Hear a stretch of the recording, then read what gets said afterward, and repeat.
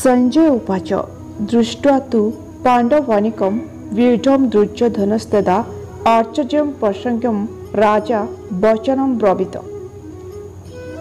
ସଞ୍ଜୟ କହିଲେ ହେ ରାଜା ପାଣ୍ଡବମାନଙ୍କର ପୁତ୍ରମାନଙ୍କର ସୈନ୍ୟମାନଙ୍କୁ ଦେଖିଲା ପରେ ରାଜା ଦୁର୍ଯ୍ୟୋଧନ ଗୁରୁଙ୍କ ନିକଟକୁ ଗଲେ ଏବଂ ନିମ୍ନମତେ କହିବାକୁ ଲାଗିଲେ ଧୃତରାଷ୍ଟ୍ର ଜନ୍ମରୁ ଅନ୍ଧ ଥିଲେ ଦୁର୍ଭାଗ୍ୟବଶତଃ ସେ ମଧ୍ୟ ଦିବ୍ୟ ଦୃଷ୍ଟିରୁ ବଞ୍ଚିତ ହୋଇଥିଲେ। ସେ ଏକଥା ଭଲ ରକମ ଜାଣିଥିଲେ ଯେ ତାଙ୍କ ପୁତ୍ରଗଣ ମଧ୍ୟ ତାଙ୍କ ପରି ଧର୍ମନୀତି ସମ୍ବନ୍ଧରେ ଅନ୍ଧ ଅଟନ୍ତି ଏବଂ ସେ ଏକଥା ମଧ୍ୟ ଭଲ ରକମ ଜାଣିଥିଲେ ଯେ ସେମାନେ କେବେ ହେଲେ ଅଜନ୍ମ ଧାର୍ମିକ ପାଣ୍ଡବମାନଙ୍କ ସହିତ ସନ୍ଧି କରିପାରିବେ ନାହିଁ। ତଥାପି ସେ ତୀର୍ଥସ୍ଥାନର ପ୍ରଭାବ ସମ୍ବନ୍ଧରେ ସନ୍ଦିହାନ ଥିଲେ। ସେ ଯେତେବେଳେ ସଞ୍ଜୟଙ୍କୁ ଯୁଦ୍ଧକ୍ଷେତ୍ର କଥା ପଚାରିଲେ ଠିକ୍ ସେତିକି ବେଳେ ସଞ୍ଜୟ ତାଙ୍କ ମନ କଥା ଜାଣିପାରିଲେ।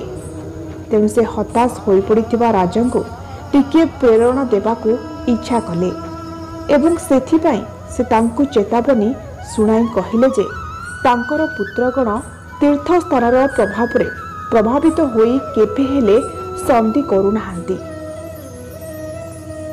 ତେଣୁ ସଞ୍ଜୟ ରାଜା ଧୃତ ରାଷ୍ଟ୍ରଙ୍କୁ କହିଲେ ଯେ ତାଙ୍କ ପୁତ୍ର ଦୁର୍ଯ୍ୟୋଧନ ପାଣ୍ଡବମାନଙ୍କର ସୈନ୍ୟ ଦେଖିଲା ପରେ ସଙ୍ଗେ ସଙ୍ଗେ ସେନାପତି ଦ୍ରୋଣାଚାର୍ଯ୍ୟଙ୍କ ନିକଟକୁ ଯାଇ ପ୍ରକୃତ ଅବସ୍ଥାଟା ବୁଝାଇ କହିଲେ ଯଦିଓ ଦୁର୍ଯ୍ୟୋଧନକୁ ଏଠାରେ ରାଜା ବୋଲି କୁହାଯାଉଛି ତଥାପି ଅବସ୍ଥାର ଗୁରୁତ୍ୱ ଯୋଗୁଁ ସେ ସେନାପତିଙ୍କ ନିକଟକୁ ଯାଇଥିଲେ।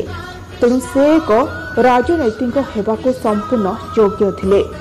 କିନ୍ତୁ ଦୁର୍ଯ୍ୟୋଧନଙ୍କର ଏ କୂଟନୈତିକ ଢାଙ୍କୁଣୀ ଅର୍ଥାତ୍ ସେ ଜଣେ ଅତି ଦକ୍ଷ କୂଟନୀତିଜ୍ଞ ବା ରାଜନୀତିଜ୍ଞ ବୋଲି ଯାହା ବାହାରକୁ ଜଣାପଡ଼ୁଥିଲା। ତାଙ୍କର ଆଶଙ୍କାକୁ ଛପାଇ ପାରିଲା ନାହିଁ।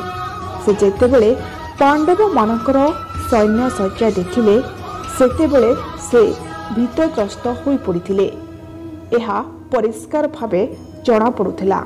ଜୟ ଶ୍ରୀକୃଷ୍ଣ ଜୟ ଶ୍ରୀକୃଷ୍ଣ ଜୟ ଶ୍ରୀକୃଷ୍ଣ ଶ୍ଲୋକ ତିନି ପୈଷତମ୍ ପାଣ୍ଡୁ ପୁତ୍ରଣ ମର୍ଚର୍ଯ୍ୟ ମହିତିମ୍ ଚମୁ ବ୍ୟଜମ୍ ଦ୍ରୁପଦ ପୁତ୍ରେଣ ତବ ଶେଷଣ ଧୀମତା ଦୁର୍ଯ୍ୟୋଧନ ଜଣେ ବିଶିଷ୍ଟ କୂଟନୀତିଜ୍ଞ ଥିଲେ ସେ ଏଠାରେ ବିଶିଷ୍ଟ ବ୍ରାହ୍ମଣ ସେନାପତି ଦ୍ରୋଣାଚାର୍ଯ୍ୟଙ୍କର ଭୁଲ ଦେଖାଇବାକୁ ଇଚ୍ଛା କରିଛନ୍ତି ଦ୍ରୋଣାଚାର୍ଯ୍ୟଙ୍କର ଦ୍ରୁପଦ ରାଜଙ୍କ ସହିତ କୌଣସି ରାଜନୈତିକ କଳହ ଥିଲା ଦ୍ରୁପଦ ହେଉଛନ୍ତି ଅର୍ଜୁନଙ୍କ ସ୍ତ୍ରୀ ଦ୍ରୌପଦୀଙ୍କ ପିତା।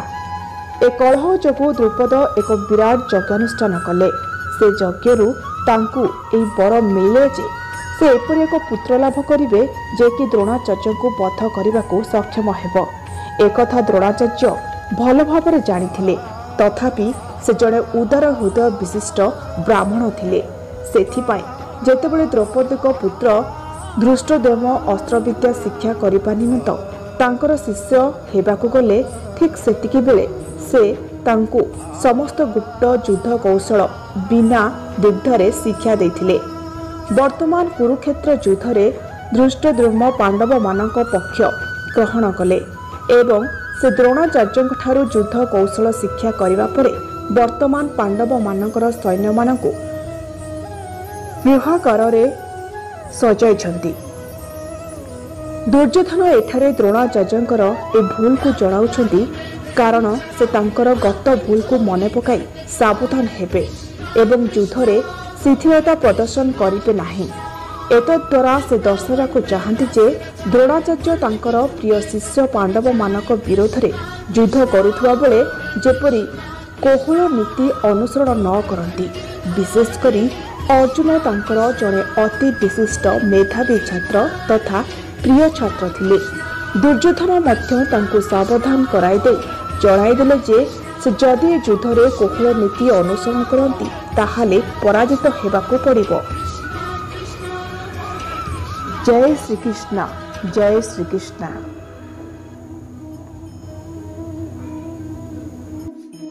ଶ୍ଲୋକ ଚାରି। ଅତ୍ରଶୂର ମହେଶ୍ୱସ ଭୀମାର୍ଜୁନ ସମା ୟୋଧି ୟୁଧନ ବିରଶ୍ରେଷ୍ଠ ଦ୍ରୌପଦଶ୍ଚ ମହାରଥ। ଦ୍ରୋଣାଚାର୍ଯ୍ୟଙ୍କୁ ଯୁଦ୍ଧ କୌଶଳ ଭଲ ରକମ ଜଣାଥିଲା ଏବଂ ସେ ଜଣେ ବିଶିଷ୍ଟ ଯୋଦ୍ଧା ଥିଲେ। ଦ୍ରୋଣାଚାର୍ଯ୍ୟଙ୍କ ଯୁଦ୍ଧ କୌଶଳ ଆଗରେ ଧୃଷ୍ଟଦ୍ୟୁମ୍ନ ଯଦିଓ କିଛି ବଡ଼ ପ୍ରତିଦ୍ୱନ୍ଦ୍ୱୀ ନଥିଲେ ତଥାପି ଆହୁରି ଅନେକ ଏପରି ଯୋଦ୍ଧା ସେଠାରେ ଥିଲେ ଯେଉଁମାନେ କି ଆଶଙ୍କାର କାରଣ ହୋଇଥିଲେ। ବିଜୟ ଲାଭ ମାର୍ଗରେ ସେମାନେ ହେଉଛନ୍ତି ବିରାଟ ପ୍ରତିବନ୍ଧକ। କାରଣ ସେମାନଙ୍କ ମଧ୍ୟରୁ ପ୍ରତ୍ୟେକ ଭୀମ ଓ ଅର୍ଜୁନଙ୍କ ପରି ଅତ୍ୟନ୍ତ ଭୟଙ୍କର ଥିଲେ। ଏକଥା ଦୁର୍ଯ୍ୟୋଧନ ପ୍ରକାଶ କଲେ। ସେ ଭୀମ ଓ ଅର୍ଜୁନଙ୍କର ବଳବୀର୍ଯ୍ୟ କଥା ଜାଣିଥିଲେ ଏବଂ ସେଇଥିପାଇଁ ସେ ଅନ୍ୟ ଯୋଦ୍ଧାମାନଙ୍କୁ ସେମାନଙ୍କ ସହ ତୁଳନା